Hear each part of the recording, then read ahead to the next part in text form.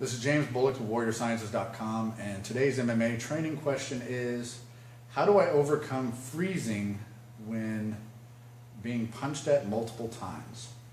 Uh, by freezing, he's, he's basically saying as the punches are coming in, you just freeze, you don't react, you don't do anything.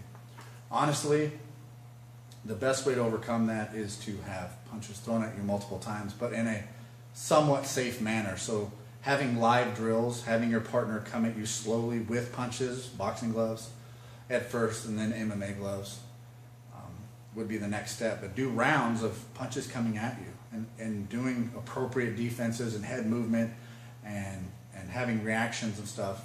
It's really, really important to have drills that have specific reactions that you can work on just like head movement, just parries, just, you know, covering up and, and head movement and different things like that. So you have to keep doing it so that you don't you don't freeze.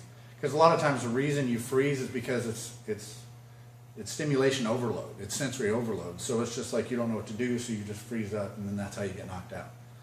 So definitely do isolation drills so that you don't do that. Have punches thrown at you regularly in a safe manner, in a controlled manner, and then slowly pick up the pace until it's you know, like full sparring. Thank you for watching. Make sure that you subscribe for new videos every week.